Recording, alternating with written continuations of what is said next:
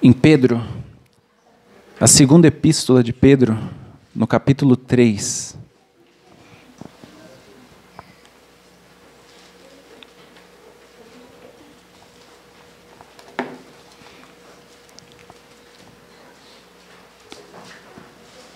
Vou ler do versículo 10 em diante. Segunda epístola de Pedro, capítulo 3, verso 10 em diante. Em nome do Senhor Jesus. Virá, entretanto, como ladrão o dia do Senhor, no qual os céus passarão com estrepitoso estrondo, e os elementos se desfarão abrasados. Também a terra e as obras que nela existem serão atingidas. Visto que todas essas coisas hão de ser assim, desfeitas, deveis ser tais como os que vivem em santo procedimento e piedade. Amém? Feche seus olhos, me permita orar neste momento, para que Deus ele venha falar conosco aqui nessa manhã.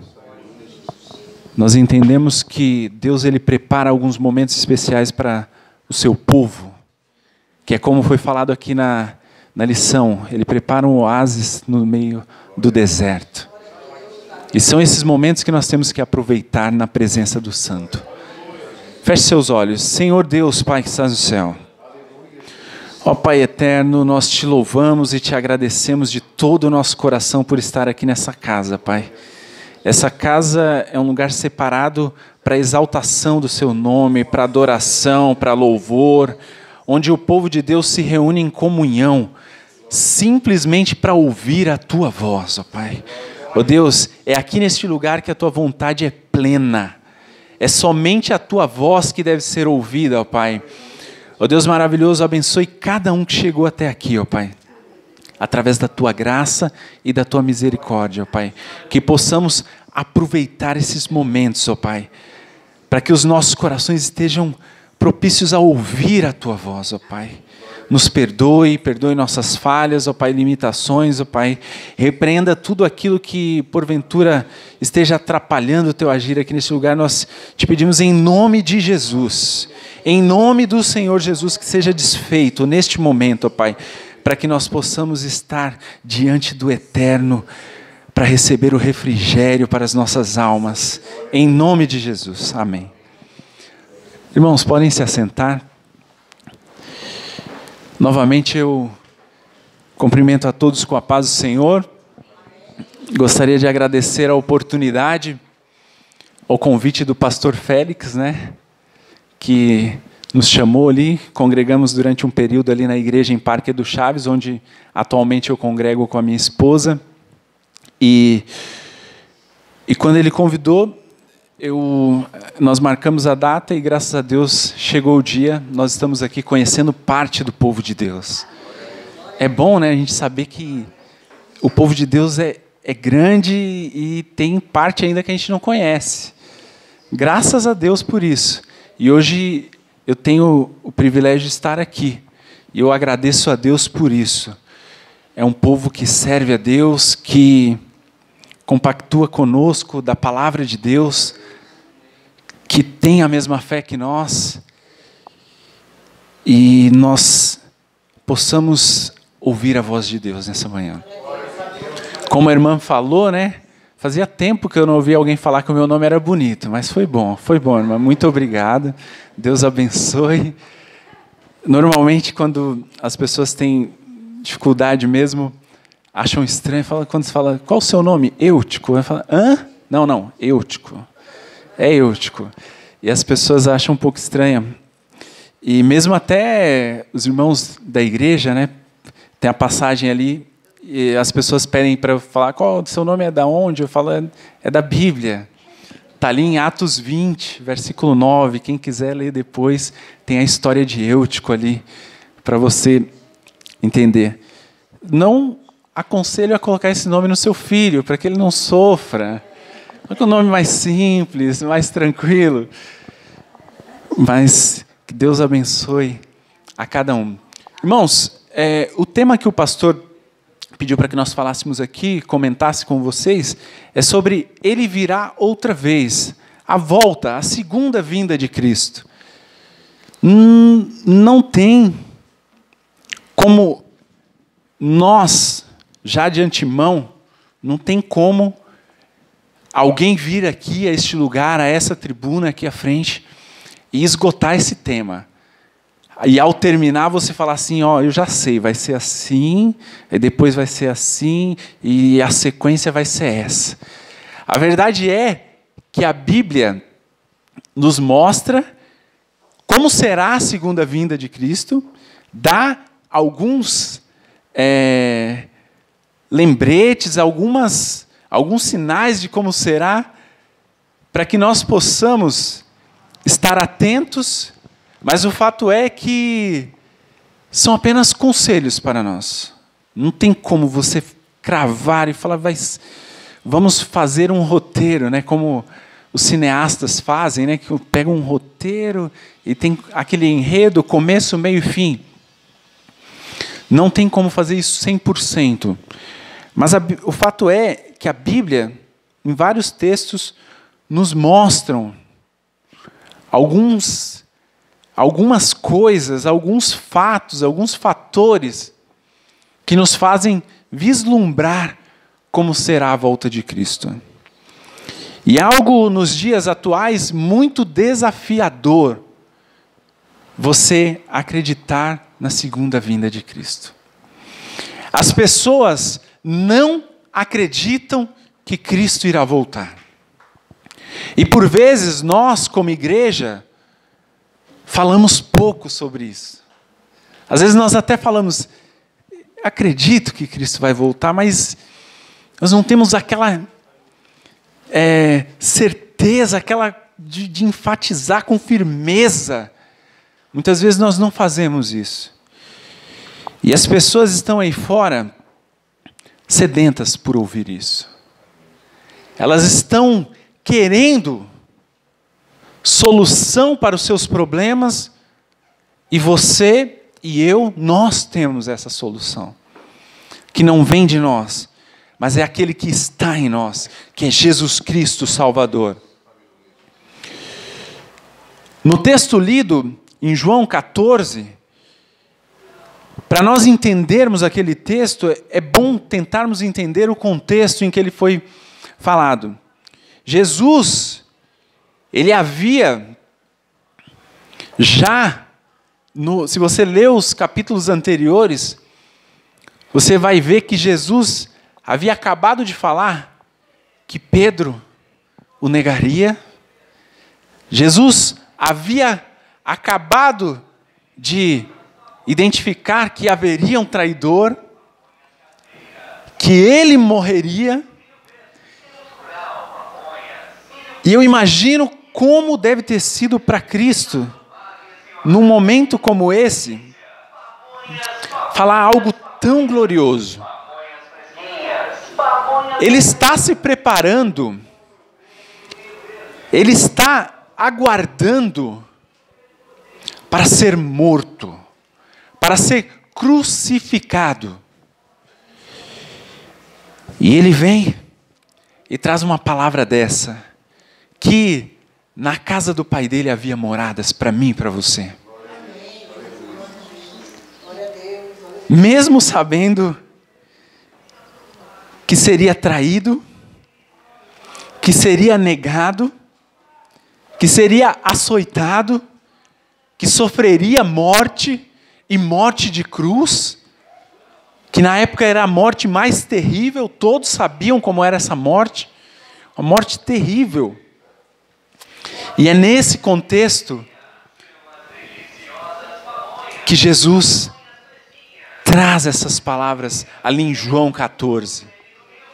Só sendo o Filho de Deus, para num momento tão difícil como esse, trazer uma palavra dessa? Você já tentou se colocar no lugar de Jesus ali? O que você falaria?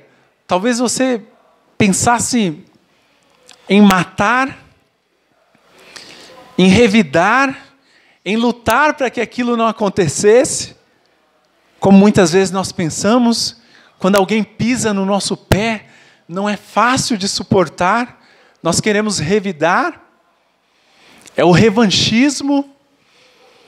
E nos dias atuais as pessoas preferem muitas vezes buscar ter razão do que ser feliz.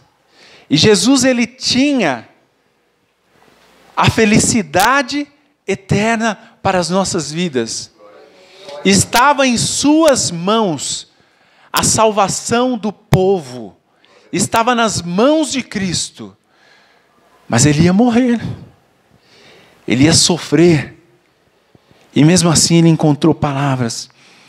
E ali, em João 14, no versículo 1, esse texto é muito conhecido. E ele fala assim: Não se turbe o vosso coração. Credes em Deus, credes também em mim. Na casa do meu pai há muitas moradas. Se assim não fora, eu vou-lo teria dito, pois vou preparar-vos lugar. E quando eu for e vos preparar lugar, voltarei e vos receberei para mim mesmo, para que onde eu estou estejais vós também. E no versículo 4 ele fala assim: E vós sabereis o caminho para onde eu vou. Jesus sabia que ia morrer, mas ele sabia para onde ele iria. E você pode pensar nesse momento, eu tenho certeza que se Cristo não voltar hoje ou amanhã, ou se ele voltar agora, será que eu vou também? Cristo tinha certeza de que iria para a glória, iria estar à direita do Pai.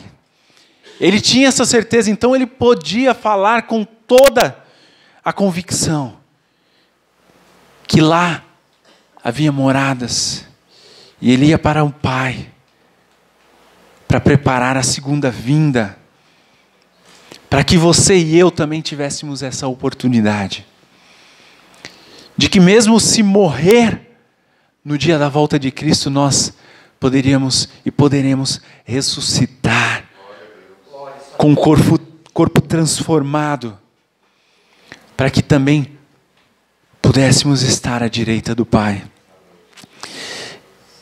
E nós podemos pensar também, irmãos, como era difícil para Cristo aquele momento. E como eu falei, só sendo o Filho de Deus para ter essa certeza, para ter tanta convicção e tranquilidade num momento como esse. E, e aí nós encontramos muitas vezes por aí pessoas que ainda não têm essa convicção.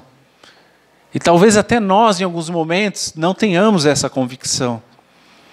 Talvez estejamos ali como Tomé, no versículo 5, para você entender, é, Tomé havia andado com Cristo, Jesus havia pregado, mostrado sinais e maravilhas, todo o seu poder, mesmo se fazendo como carne aqui nessa terra, como nós, pessoas que sentiam fome, dor, ele havia vindo a essa terra, ele estava na condição humana, mesmo sendo também 100% Deus.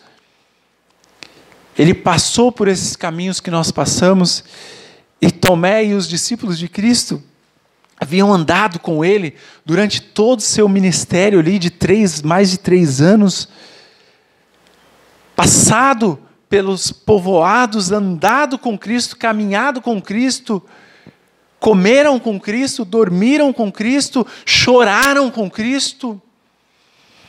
E aí Tomé faz uma pergunta.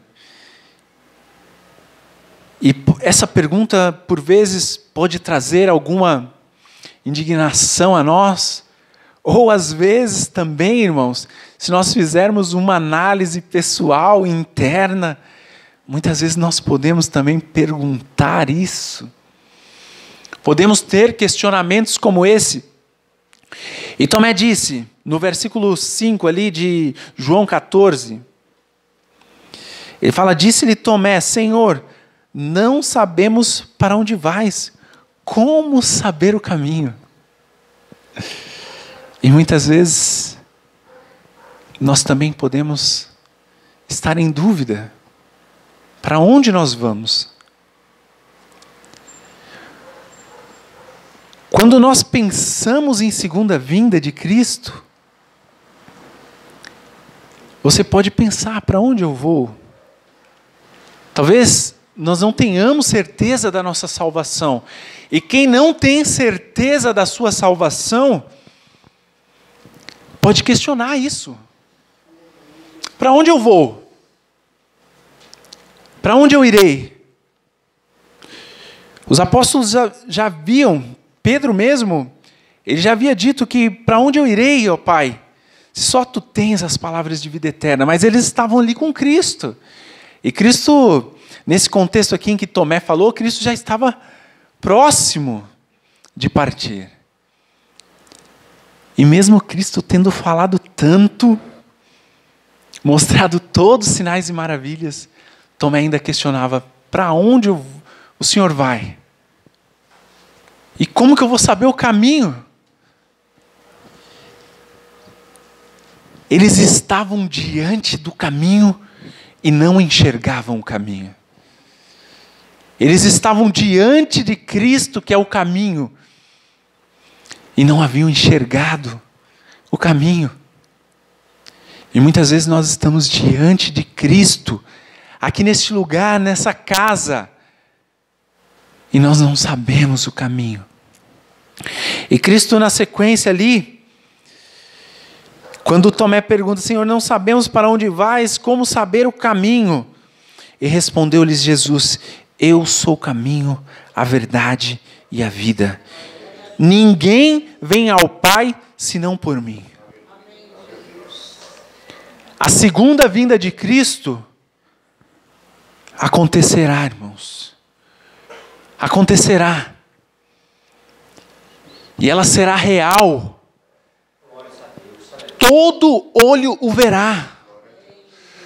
Se você estiver vivo, você poderá ver. Se você estiver aqui nos dias atuais, se ele voltar agora e nós estivermos aqui, nós veremos. E a Bíblia fala que aqueles que estiverem, estiverem mortos ressuscitarão para ver. O verão também. E nós temos que estar convictos dessa segunda vinda. Em tempos tão complexos, tão difíceis, você ainda acredita que Cristo virá? Amém? Você ainda acredita nisso? Porque o mundo faz de tudo.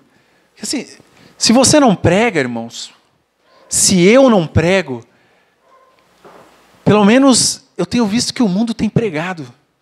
Sabia que o mundo prega para que você não acredite nisso? E por vezes nós somos confrontados e colocados na parede para negar a nossa fé. O mundo nos coloca em situações complicadas como foi falado aqui na lição em relação ao sábado, nós somos questionados. Nós somos sofremos deboches. O mundo por vezes tem dado risada de mim, de você. Mas mesmo assim, nós não podemos retroceder um milímetro daquilo que nós temos crido.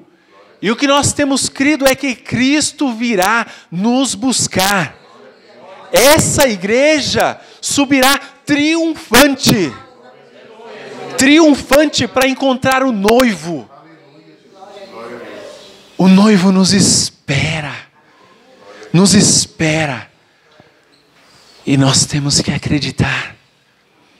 Eles vão falar, faz muito tempo, faz muito tempo que vocês pregam isso que vocês acreditam nisso e até hoje não aconteceu nada. É assim, o inimigo é astuto. Vão olhar para você e para mim e falar, mas você acredita nisso e já tem muito tempo. e nada aconteceu. Mas, irmãos, é essa esperança que nos traz, em dias tão difíceis, um bálsamo para as nossas dores. Traz alívio para as nossas dores. Eu fico imaginando como seria a nossa vida aqui sem essa fé, sem essa esperança de que Cristo irá voltar para nos buscar. Por vezes, eu tenho certeza que você já se pegou aí, como eu já me peguei, pedindo para que Cristo voltasse logo. É tantas coisas terríveis que têm acontecido nesse mundo. Você abre o jornal, você liga a sua televisão. Dias terríveis, terríveis, complicados. Às vezes lá no seu trabalho, lá na sua casa, no seu lar na sua família. Mas essa esperança da volta de Cristo nos traz alívio em dias tão dolorosos. E creia, Cristo vai voltar. Ele vai voltar. Não é conto de fadas, não é história de roteiro para cinema. Não, é uma verdade é uma certeza absoluta. E Ele está próximo. Ele está próximo. Em Atos 1, verso 11, quando Cristo ele subiu e os seus discípulos ali ficaram olhando para cima, e a Bíblia fala que é, haviam anjos chegaram até eles e falaram: Varões galileus, que estão olhando para cima? Da mesma maneira como viram subir, vocês os virão descer. Vocês verão ele descer para buscá-los. Porque estão tristes? Muitas vezes nós ficamos tristes hoje também. Às vezes nós ficamos olhando para cima apenas com aquele sentimento de tristeza pelo que acontece neste mundo. Mas aí Jesus, ele fala conosco, e lá com seus discípulos ele falou através dos anjos. Por que estão olhando para cima? Que estão saudosos?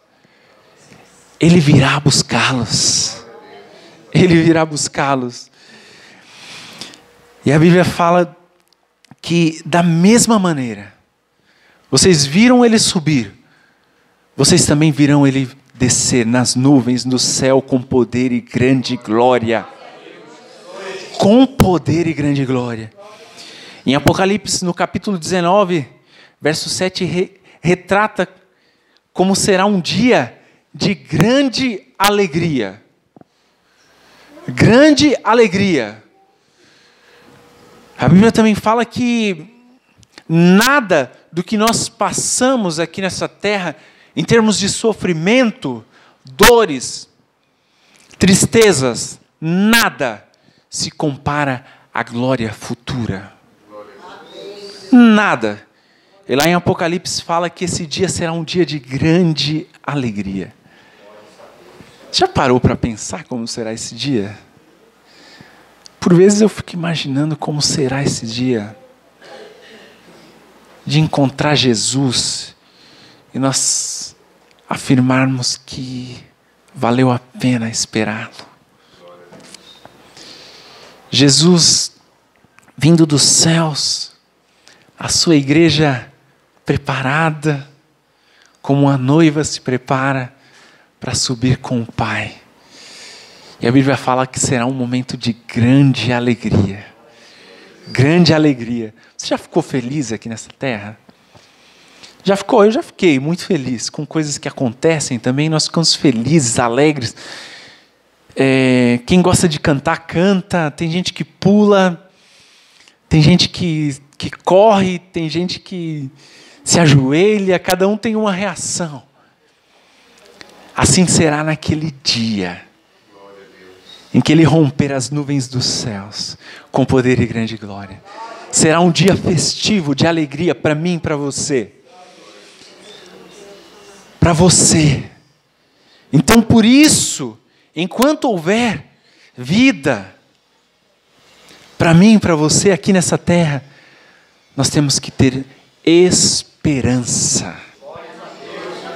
Esperança. Quem tem esperança faz o que, irmãos? Obedece. Obedece a Deus. Obedece. Como você vive hoje? Como nós vivemos hoje? Com esperança, esperando Cristo. E quem espera em Cristo, obedece, porque aí haverá certeza de que no dia que Ele voltar, nós subiremos com Ele. O próprio Jesus afirma que virá outra vez. E ele fala: Vos levarei para mim mesmo. Quem é pai aqui tem uma certeza. Eu não sou pai ainda. Mas isso é muito claro para mim, porque eu sou filho. O pai, ele quer o seu filho perto dele. Você pode não ter o seu filho na igreja, talvez não tenha, por algum motivo ele se afastou dos caminhos de Deus, mas uma certeza que você tem é que você gostaria que seu filho estivesse aqui com você, ao seu lado, não é assim? É assim também com Deus. Ele nos quer ao seu lado. Por isso, ele preparou a sua segunda vinda para que você e eu estivéssemos ao lado dele. E este dia vai chegar. Este dia chegará. E ele fala: Vos levarei para mim mesmo. Ou seja, ele nos quer. Ele nos quer. Ele quer o seu filho. Ele quer a sua família. Ele quer a mim. Ele quer a você. Essa é uma certeza. O Pai amoroso quer os seus filhos com Ele. Em Mateus 26, no versículo 64, fala que algum dos sinais dele, né, de demonstração, ele fala: Ele virá sobre as nuvens dos céus.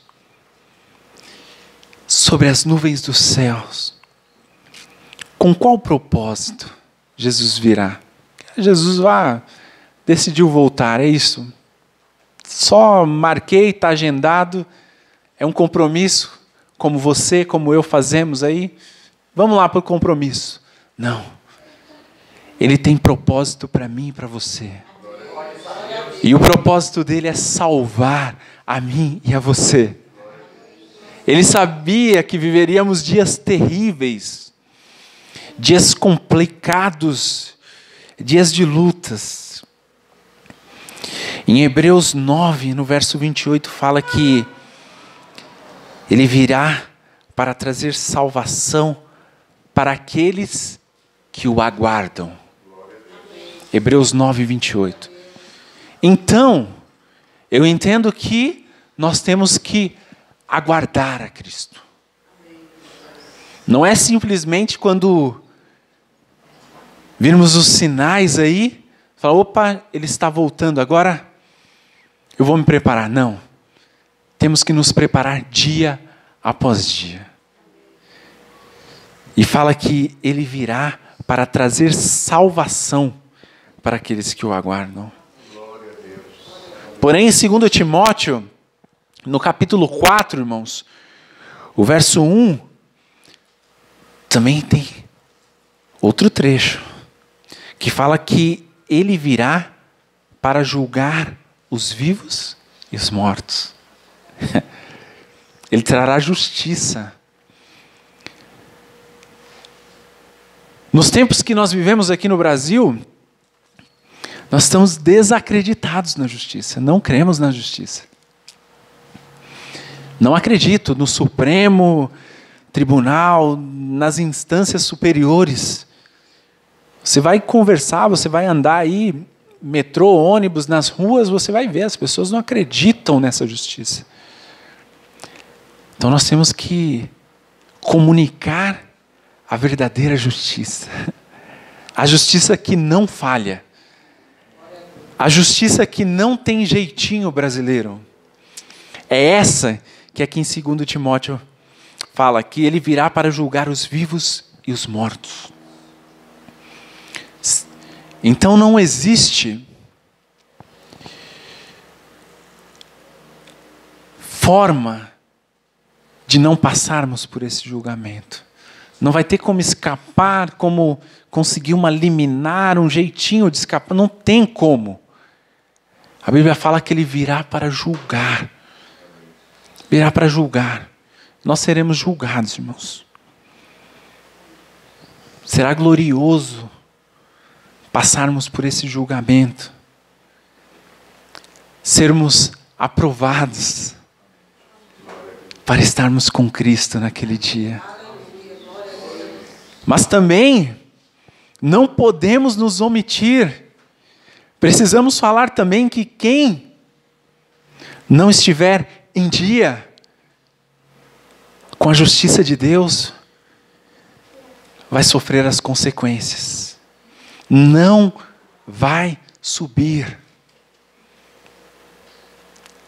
Não vai ter como escapar da justiça de Deus.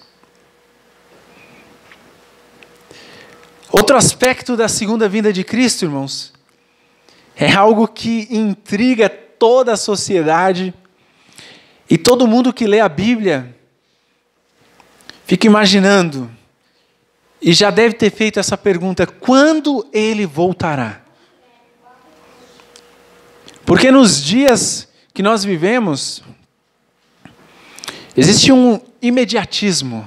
Nós queremos tudo para agora. E nós queremos também estar no controle das situações. Eu não quero uma situação onde eu não tenho o controle total dela. Até porque eu posso ser surpreendido, pode acontecer algo que não será a minha vontade. Alguns, não é o objetivo dessa mensagem aqui nessa manhã, mas nós sabemos na história do povo de Deus nessa terra já houveram pessoas que já marcaram o dia da volta de Cristo, já tentaram adivinhar o dia da volta de Cristo, irmãos, e essas pessoas quebraram a cara. Essa é a grande verdade. O fato é que o Pai que está no céu sabe o dia. Ele sabe o dia. E isso não pertence a mim e a você. O que pertence a mim e a você é estar preparado todos os dias. O que cabe à igreja de Cristo é estar preparado agora, hoje, porque ele pode voltar hoje, ou até mesmo nós poderemos morrer hoje. Ou estou falando alguma bobagem aqui?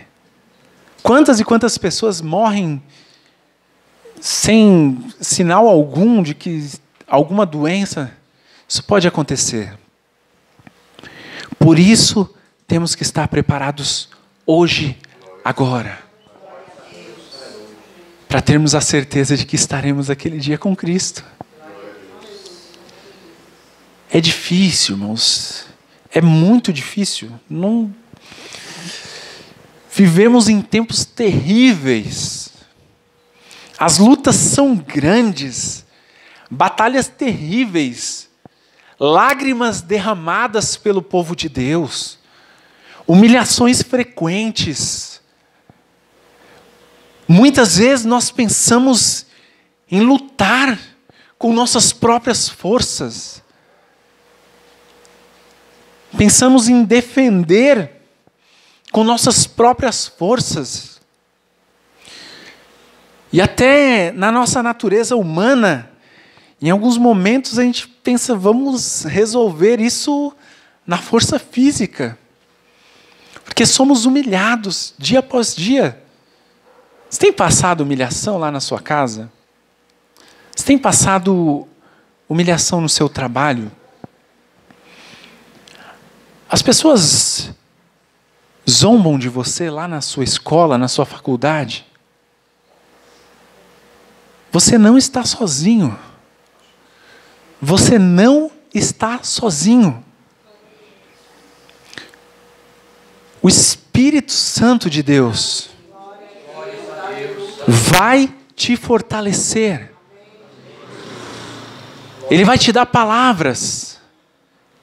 Mas para isso você precisa estar na vontade de Deus, aguardando a volta de Cristo. Nós precisamos estar dia após dia firmes, aguardando a volta de Cristo. Não sabemos o dia. Em Mateus, capítulo 24, você vai ler lá, em diante do 1 ao 12, vai falar alguns sinais que você vai ver qualquer semelhança com os dias atuais é não é coincidência não. É verdade. Os sinais estão aí, irmãos. E são sinais que, que nós não temos como questionar e não há como negar. Está próximo. Está próximo. As tribulações têm acontecido, terremotos, tempestade, fome.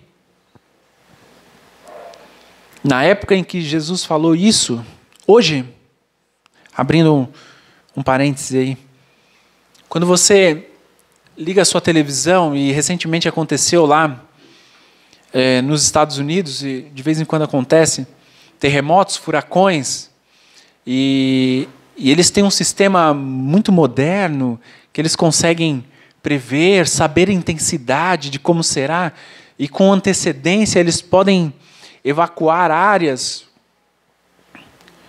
E até comparando com outros países, como aconteceu também na Indonésia, que talvez não tenha um sistema tão moderno e aí a, a, tragédia sempre é maior, né? Não sei se você chegou a pensar nisso, comparar isso. E eles conseguem prever isso. Só que quando Jesus, é, a palavra de Deus aqui mostra esses sinais, é, não existia tecnologia avançada como nós temos hoje.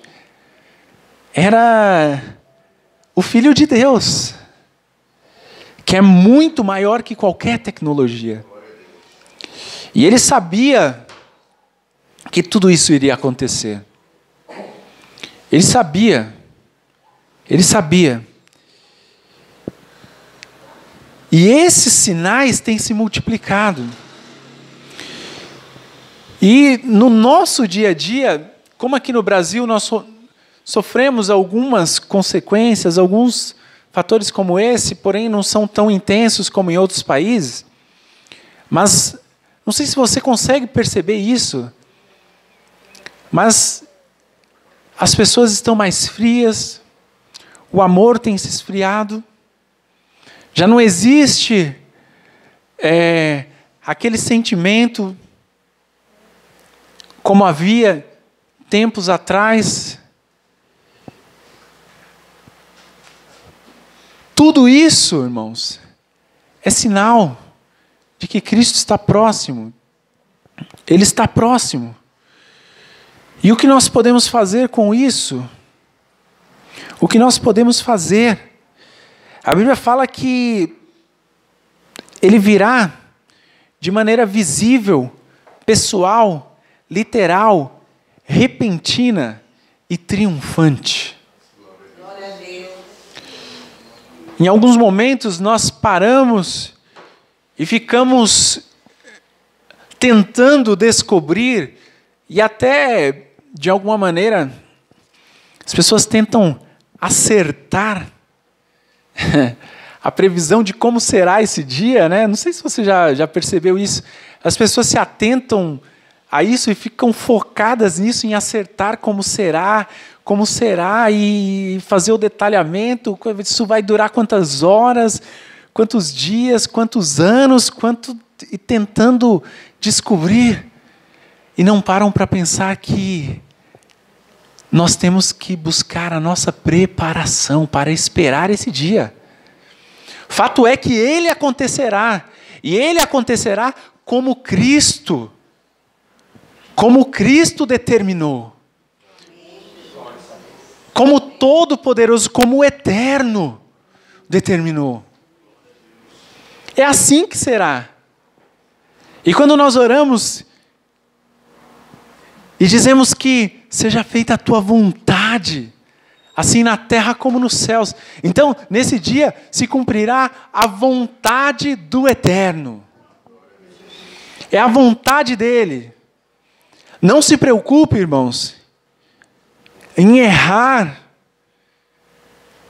algum detalhe de como será esse dia. Se preocupe em acertar a sua vida com Cristo, para que você seja chamado de benditos do meu Pai. Se preocupe com isso, para que você seja chamado para aquele dia glorioso. Glorioso. Fato é que ele voltará. Ele voltará. Já partindo para a conclusão, os sinais servem simplesmente, irmãos, para nos deixar alertas. Alertas. É assim como acontece lá nos Estados Unidos quando vem algum terremoto, furacão. Eles emitem sinais e, e alertas. E as pessoas vão tomando as providências. E, e se nós olharmos aí, Deus já vem dando sinais e alertas. E você tem tomado as suas providências? Eu tenho tomado as providências? Porque aquilo que cabe a mim a você, o que cabe a mim só eu posso fazer. O que diz respeito à minha vida com Deus, somente eu posso fazer. Como irmão, como igreja, eu posso ajudá-lo. Mas só você pode tomar as decisões da sua vida. Decida estar com Cristo. Decida estar com Cristo hoje. Decida estar com Cristo agora. Pois não sabemos como será o dia de amanhã. Não sabemos. Esse dia será estupendo. Muitas vezes alguns filmes tentam demonstrar isso. E aí se mostra um grande show de luzes, relâmpagos e outras coisas. A nossa esperança não está no dia em si, mas a nossa esperança está naquele que virá nesse grande dia. A nossa esperança está firmada em Cristo Jesus. É Ele é Ele. É Ele que vai nos levar. E para nós encerrarmos, irmãos, eu gostaria que você ficasse em pé neste momento. O que eu tenho feito da minha vida? O que você tem feito da sua vida? O mesmo Deus que já trouxe o juízo através do dilúvio, trará o juízo na sua segunda vinda. E ambos os juízos virão através da palavra. Da palavra. E o conselho que eu trago para você nessa manhã: não saia da palavra. Não saia da palavra. Jesus Cristo é a palavra, é o Verbo vivo. É Ele, nós temos que estar nele. A Bíblia fala lá em Romanos que a própria terra geme. Você tem percebido isso? A terra gemendo, as pessoas aí no mundo gemendo, sofrendo, aguardando a volta de Cristo, aguardando a volta triunfante de Cristo. Eu gostaria que você acompanhasse ali em 2 Pedro, para nós concluirmos aqui. Eu li até o 12 e agora eu vou ler a sequência. Até o final. Versículo 14 em diante. Capítulo 3, verso 14 em diante. Segunda epístola de Pedro.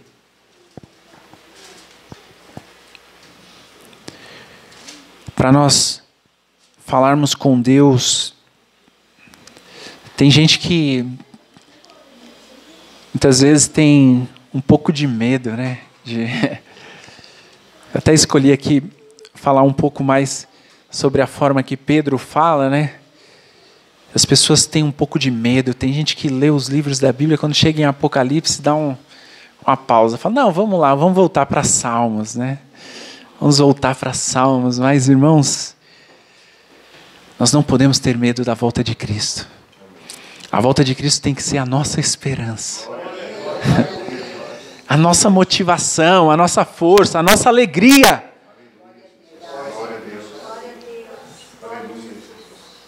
14 em diante, fala assim: Por essa razão, pois amados, esperando essas coisas, empenhai-vos por ser desachados por Ele, em paz, sem mácula e irrepreensíveis. E tende por salvação a longanimidade de nosso Senhor, como igualmente o nosso amado irmão Paulo vos escreveu, segundo a sabedoria que lhe foi dada.